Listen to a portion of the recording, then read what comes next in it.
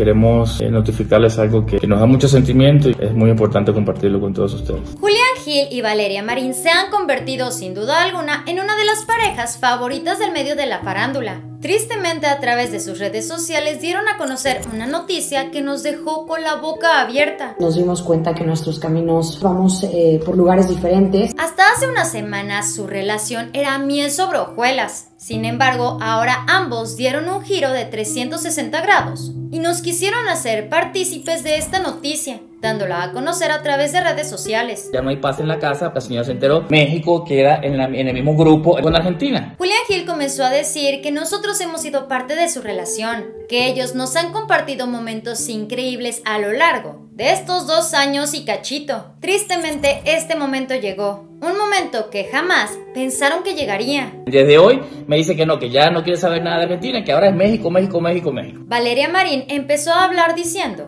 que les había costado muchísimo trabajo llegar a tomar esta decisión. Ella empezó a decir que después de estar hablando bastantes sentidos, algo entre ellos estaba sucediendo, algo que al parecer no se podía resolver tan fácilmente. Resulta que entonces toma fuerza Argentina y vas contra México y entonces no hemos parado de discutir. De la nada, Julián Gil la interrumpió y le dijo que sí o sí tenía que ser sincera con el público, como si Valeria no quisiera dar a conocer los verdaderos motivos. Pero Julián le puso un alto total. Le dijo, mi reina, habla. Desde hoy nuestra relación se termina y quizás hablemos el 27 de noviembre. Quizás. A ver, ¿es en serio? ¿Tanto rollo por un contratiempo de fútbol?